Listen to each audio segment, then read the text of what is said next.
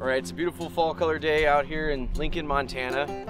I'm with Nate Closson and the Montana Painters Alliance. We're doing a fall paint out. So Montana's given us one day of fairly decent weather and we're gonna make the best of it.